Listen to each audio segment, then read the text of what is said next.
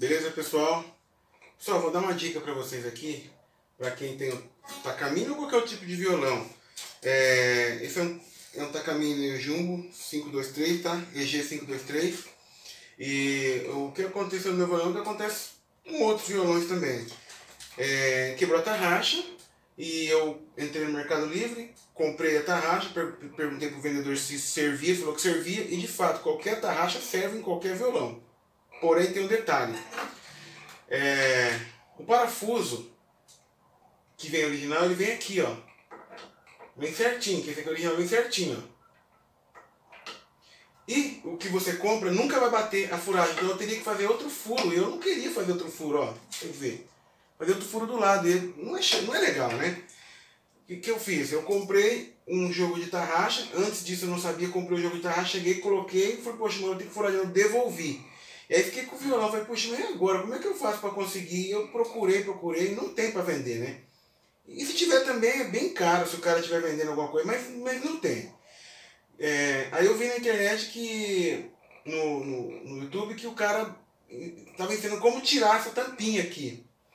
Aí eu tive a ideia, depois de ter devolvido a, a, o jogo, eu falei, poxa, se eu tirar essa tampinha, eu vou comprar outro jogo, que aí você vai ter que comprar um jogo mesmo, e vou usar tão somente o pivôzinho que vai dentro. Então assim eu fiz. Então eu vou agora desmontar a, esse aqui que chegou e vou usar só o pivôzinho que está aqui dentro. Porque o que quebrou foi é a peça que é, pega aqui para poder rodar a corda. Não foi essa aqui.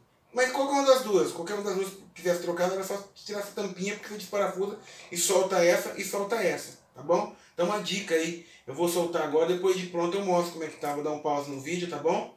E fica a dica aí pra todo mundo, pra quem não quiser estragar, furar, fazer outra furagem que não, é bom, né? Manter sempre originalzinho, tá bom? Eu vou dar uma pausa aqui depois mostro pra vocês. Valeu! Bom, galera, agora tá pronto o violão. Eu já troquei. Troquei a, a tarraxa.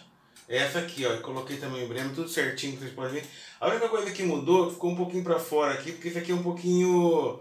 É, tem um tipo uma saliencinha, mas é, dá pra levar depois, quando tiver com tempo, eu vou levar no torneio só pra ele dar uma gastadinha e jogar pra dentro de novo. E também aqui a tarraxa, ah, pode ver que deu uma diferença muito pouca, mas por quê? Porque esse aqui, como ele não subiu, ele deu uma diferença, mas são coisas bobas que eu posso tirar depois, levar para um torneio para ele dar uma gastadinha lá para que se suba, suba, e aqui também dar uma ajeitadinha aqui por dentro e pôr de volta. Vai ficar original, legalzinho, perfeito. Detalhe, eu fui batendo, batendo, ó, bati primeiro daqui, depois eu percebi que batendo de lado, assim, na, na, na madeira, eu coloquei um fone de ouvido, e aí eu ia acompanhando o ritmo da música, né? Batendo de lado aqui, ele soltou mais fácil. Do Takamine foi mais fácil soltar do que esse, esse que eu comprei no Mercado Livre. Mas tá aqui, ó.